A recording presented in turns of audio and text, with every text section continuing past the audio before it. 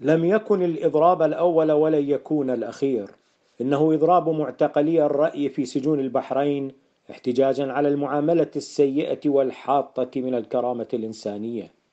إذ يعاني السجناء من الضرب والإهانات والعزل ومصادرة المقتنيات الشخصية ومنع من التواصل مع الزائرين إلا عبر عوازل فضلا عن حظر ممارسة الشعائر الدينية.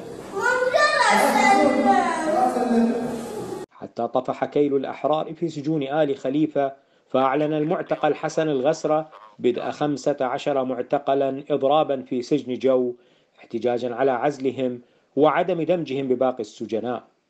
إضراب سرعان ما لقي تجاوبا من قرابة المئتي معتقل في ذات السجن فالهم واحد والمصير واحد. صدى الإضراب وصل إلى سجن آخر هو الحوض الجاف الذي دخل فيه أكثر من أربعمائة معتقل في إضراب يشكون فيه ظلامتهم عسى أن يصل صوتهم إلى أسماع المجتمع الدولي. الذي آثر غض الطرف وصم الآذان عن سماع آهات الضحايا في البحرين. The importance of justice. إلا أن الأحرار وفي مختلف أرجاء المعمورة رفعوا صوتهم عاليا في العديد من العواصم العالمية مطالبين بوقف الانتهاكات في البحرين. ومنها واشنطن ودبلن وبروكسل وباريس وبيروت وعواصم أخرى.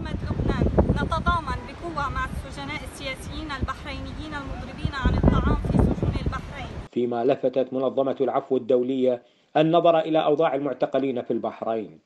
لكن السلطات وبدلا من الاستجابة لمطالب المضربين أمعنت في طغيانها فاعتدت مرتزقتها عليهم بالضرب وبرش الفلفل الحار.